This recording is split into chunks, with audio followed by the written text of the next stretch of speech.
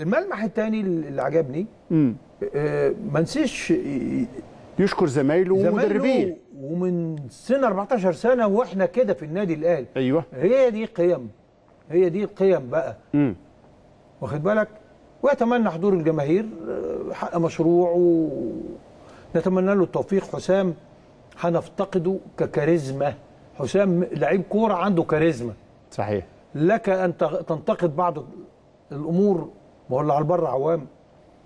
وتقول كان عصبي كان بيزعق كان بيعمل واللي الناس اللي بتحبه تقول لك أصله كان غيران بس هذه سمات. لكن كلها بيجمعها إيه؟ بيجمعها إيه؟ حب صادق ها؟ إنسان مش منافق. إنسان لما جه يطلع قال لك مستقبل أولادي. مستقبل أولادي. منتهى الصدق لك الاهلي قال له بس دول أولادي. أنا أنا يعني هلعب كام سنة؟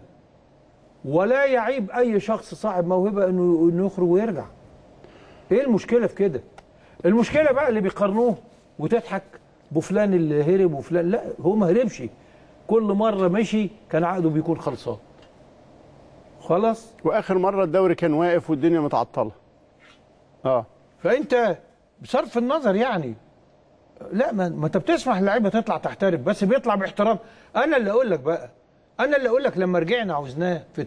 في التجديدة اللي هي قبل الدوري ما يتوقف آه، آه، فيها. لما في في في أول استلام ل... لحسام البدري. ها؟ آه، التدريب. أيوه أنا كنت بفاوض أربعة خمسة. امم وما كنتش شايل هم غير حسام غالي. جاي لنا بقى من أوروبا.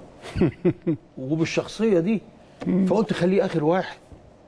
وفاجأ إنه أكتر ممتع. واحد آه. سهل ما ضيعش ما خدش مني خمس دقايق. عشان يجدد. آه. كابتن عدلي الأهلي محتاجني. آه ماشي. هتقدروني بما يليق؟ آه طبعا.